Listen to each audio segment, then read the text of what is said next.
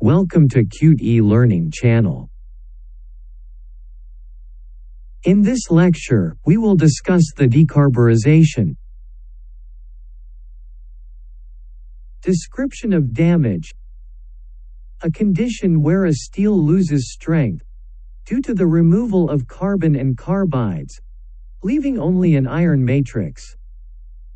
Decarburization occurs during exposure to high temperatures, during heat treatment, from exposure to fires, or from high temperature service, in a gaseous environment.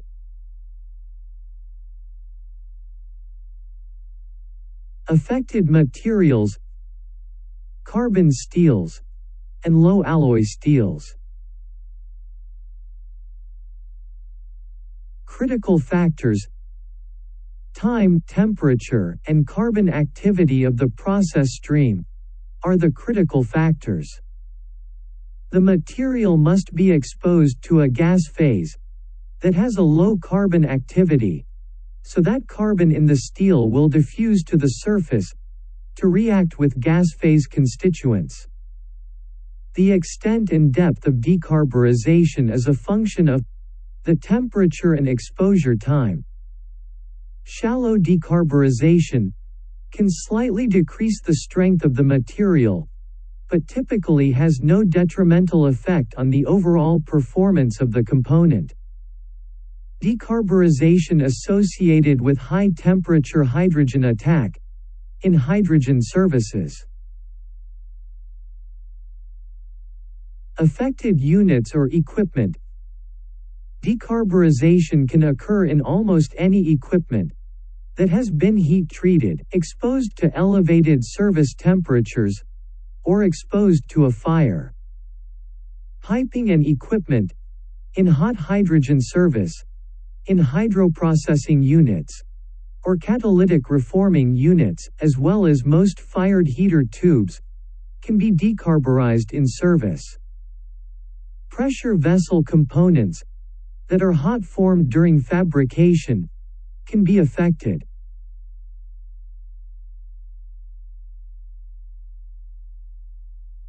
Appearance or morphology of damage Damage can be verified by metallography. The decarburized layer will be free of carbide phases. Carbon steel will become pure iron.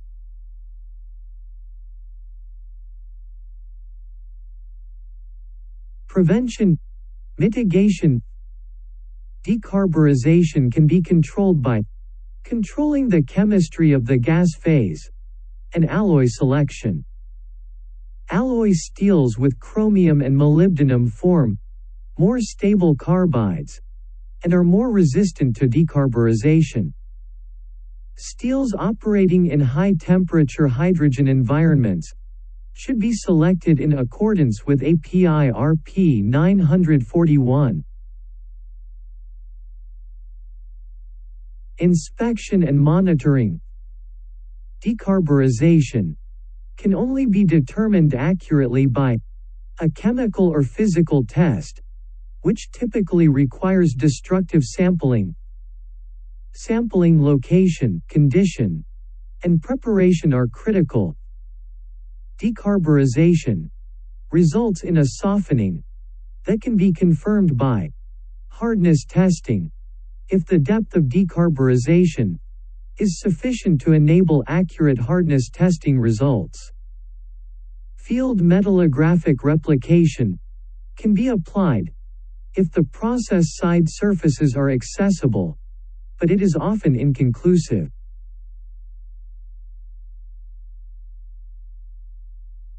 Related mechanisms. High temperature hydrogen attack.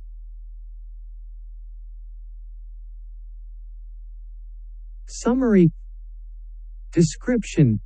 A steel loses strength due to the removal of carbon and carbides leaving only an iron matrix. The decarburized layer will be free of carbide phases. Carbon steel will become pure iron. Temperature range Decarburization occurs during exposure to high temperatures, during heat treatment, from exposure to fires, or from high temperature service, in a gaseous environment. Affected metallurgy, carbon steels and low alloy steels. Prevention Decarburization can be controlled by controlling the chemistry of the gas phase and alloy selection. Alloy steels with chromium and molybdenum form more stable carbides and are more resistant to decarburization. Inspection methods Decarburization can only be determined accurately by a chemical or physical test. Decarburization results in a softening that can be confirmed by hardness testing. Field metallographic replication can be applied if the process side surfaces are accessible.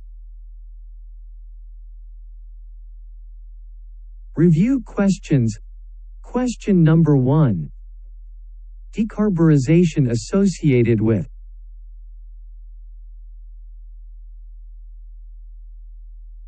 Answer is B. Question number 2. Decarburization can occur in almost any equipment that is exposed to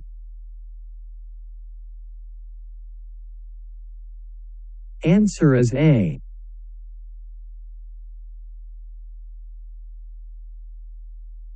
This lecture is prepared by Samir Saad.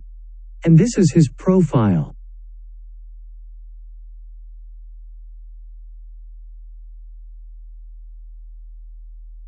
Thanks a lot for watching. And please waiting us for next lecture.